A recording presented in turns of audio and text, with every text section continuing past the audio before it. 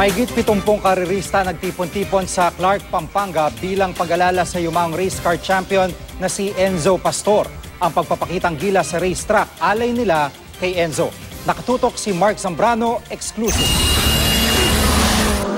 Niyanig ng tunog ng mga turbocharged engine ang Clark International Speedway para sa memorial race na tinaguriang Round for Enzo.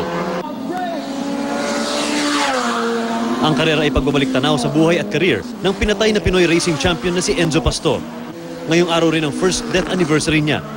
Nasubukan ng galing ng mga automotive tuner, mechanic at driver, lalo't umabot sa mahigit 36 degrees ang temperatura sa loob ng truck. Ang ama ni Enzo na si Tom, sumali rin sa time attack race. Mahigit 70 racers ang sumali sa tribute race para kay Enzo Pastor. Sampung lap sa dalawang race categories ang kasama sa karera at bawat lap nito, alay ng lahat para kay Enzo. Naglagay rin ng memory wall kung saan makikita ang mga litratong naglalarawan sa buhay ni Enzo. Nagpalabas din ng mga video ng ilang mga karerang nilahukan niya. And it was so devastating because we don't even have time to grieve.